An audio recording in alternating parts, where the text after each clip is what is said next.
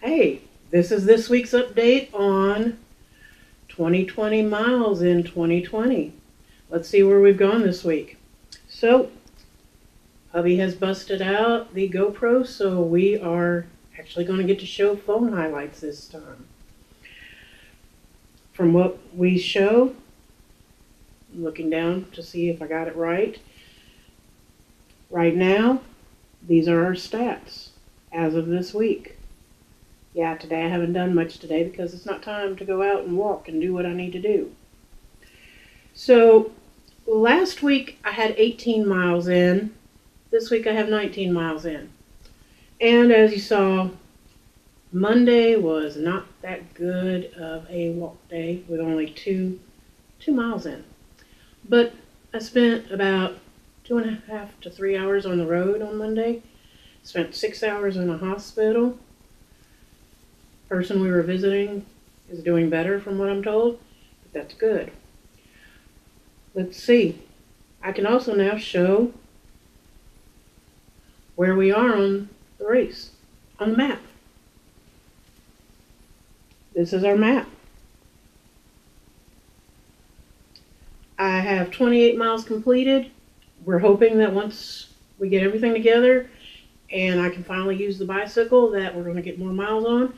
But we have made it from Miami to Fort Lauderdale and there are it's almost 360 miles of Florida to get out of to on this race. I'm hoping to get out of Florida by March.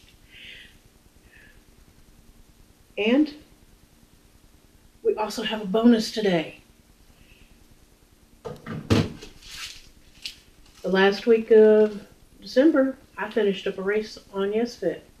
No, they are not sponsoring me. I love them. They have gotten me onto this walk thing.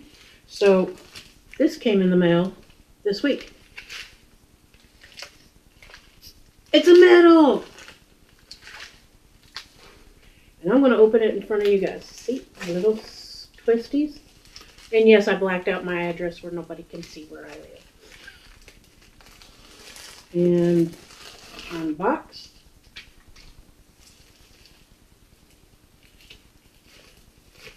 It comes with a cute little card. I am the wow factor. Put it on a magnet and put it on my door. You see all the ones behind me. And this was called the Happy New Year race. 31.6 miles. Yes, I walked those. A lot of miles. But I'm proud of these. And these are what motivate me to keep walking. Because I like the shiny things. But that's our update for this week. Join us next week to see how far I can go. Have a nice day. Stay true to yourself. And go out there and walk. It's fun.